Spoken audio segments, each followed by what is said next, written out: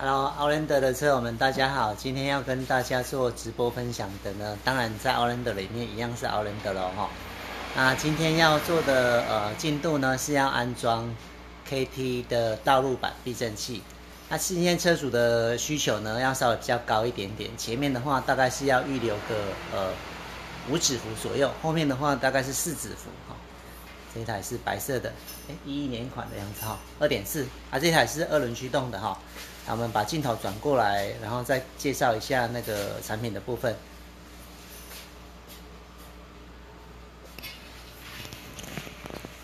这一台呢，目前都是原厂的配置的哈。借借个灯一下子。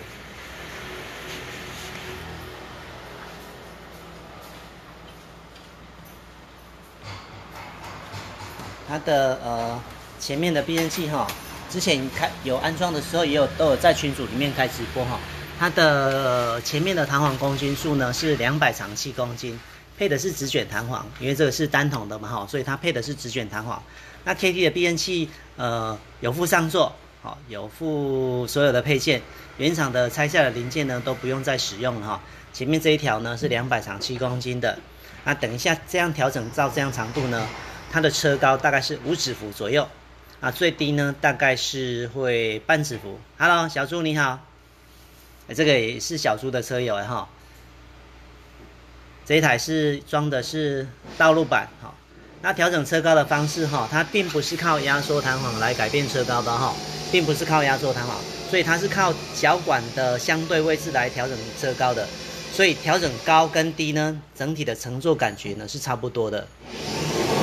那今天要调整大概到五指幅了哈。所以，如果我要再降低的话呢，会把这个银色的托盘呢，从这个方向把它松开之后呢，脚管蓝色的脚管往上缩，它的整体长度变短之后，车高就会变低。那我如果再往下延伸的话呢，车高就会变高哈。所以这个是呃 KT 道路板的调整方式。那阻尼呢，软硬的哈，软硬的调整呢，前面很单纯，前面我们把引擎室打开。引擎室打开之后呢，在这个地方呢，KT 就有附这个强化上座，而且这个上座的轴承呢，使用的是日本口优的轴承。那阻尼的调整呢，从这个地方做调整。像我这个方向哈，顺时针呢，H 往 H 的方向转，来再近一点，顺这个方向呢就会变硬。好像这样有两段一格一格的手感。往 S 方向呢就是变软。一共阻尼的话有三十段的可以调整。那今天的话，先把它固定大概在刚好中间的位置，十五段左右。那原厂的话有附一个防尘盖哈，调整完毕之后呢，还要再把防尘盖盖回去。防尘盖里面呢有三颗螺丝，这三颗螺丝呢对准孔呢就是要对准上座的那个螺丝孔。然后它有一个旁边有一个扣具哈，这边翻起来好，这里有一个扣具，要扣住这个呃板件的地方，它才不会脱落。但是我只有一只手，所以不太好扣。好，OK，这个是呃前面安装好完成之后就会像这个样子。那如果日后要调整阻尼的时候，把这个稍微掀开，从里面就能调整了哈。Hello，嘉燕你好。那用料的部分的话，呃，之前有安装过好几部哈，也都有稍微介绍过了哈。KT 所选用的阻尼油是意大利 IP 的阻尼油，是一整桶从意大利进口。并不是授权在台湾在做混装的油品，所以它的油的稳定度也好，还有抗衰退性哈、消耗性也好，都有一定的水平。单呃单价就是高了一点，就是它最大的缺点哈。IP 的阻尼油的话，单价比较高。那里面的油封的话呢，所选用的是啊日本 NOK 的油封哈。用料的部分的话，KT 都用的还蛮不错的。那这一台呃。ABS 感应线还有油管固定架呢，它原厂就有做一个托架了哈，有做这个托架，只要把这颗螺帽呢把它松开之后再锁回去就好了。那 KT 也有做一样的位置，做呃一样的固定方式，好，所以这些位置呢就不用用束线带了哈。那至于离载串的部分的话哈，KT 的前面的离载串是要沿用原厂，并不用再改强化，也不用改短，因为相对的高度啊。它的高度跟原厂一样，所以离载串的话呢，用原厂的规格就好了，不用改短。好处是什么？好处是它用原厂的高度的话，它所转在在这个是麦花臣的结构，在转方向盘的时候，它其实是会移动的。那移动呢，这个角度如果改短了之后呢，它做动的角度需要比较大，所以离载串的寿命呢就会变得比较短哈。所以用原厂的离载串的好处呢，就是寿命离载串的使用的寿命呢会稍微长一点点。这个是呃，它 KT 前面所设计的地方哈。那奥兰德因为调整阻尼很方便呢，前面把引擎盖打开就能调整哈。后面的话，看一下有没有装好了。轮胎的部分的话，目前这一台车都还是呃维持原厂的规格。后面的。安装上比较繁琐的部分，应该是要需要把饰板把它拆掉。正常来说，如果拆避震器的话是不需要这么麻烦。可是为了要做一个阻尼调整的延伸机构呢，所以需要把这个地方饰板把它拆掉之后，装这支延伸的调整杆。从这个地方呢就能调整阻尼了，不用再把一整支的避震器卸下来哈。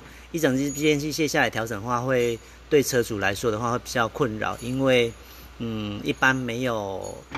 没有机具的话，工具的话也不太有办法把避震器卸下来。这是右边哦，右边的调整机构。那右后方的避震器的话，在这里。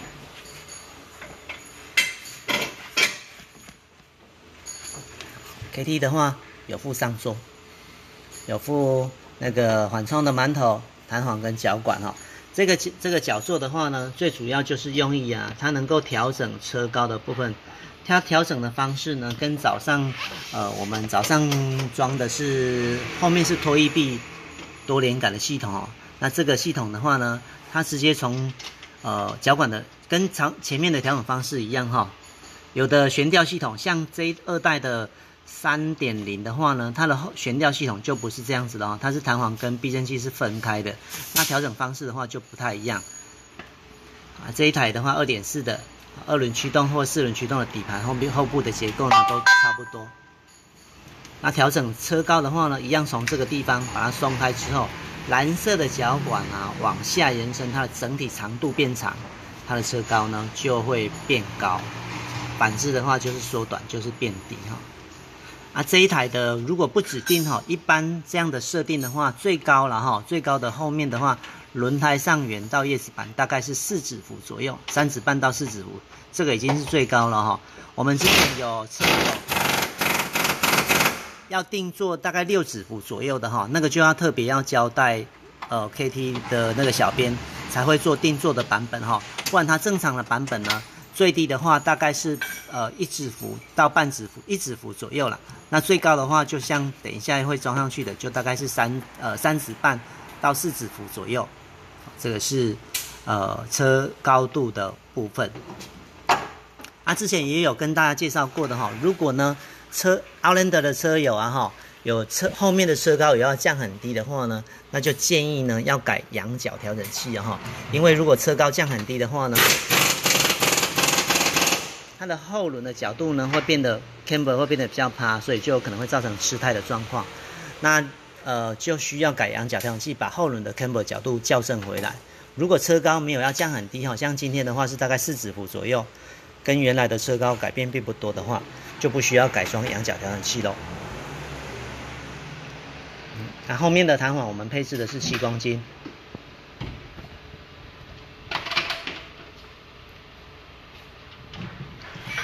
现在前面跟右后都装好了哈，只有剩下左后还在施工当中。啊，轮胎的话是原厂规格是二一五七零十六，这样看不到，啊，这是二一五七零十六。这是拆下来的一些饰板，并不难拆啊，但是要花一点时间。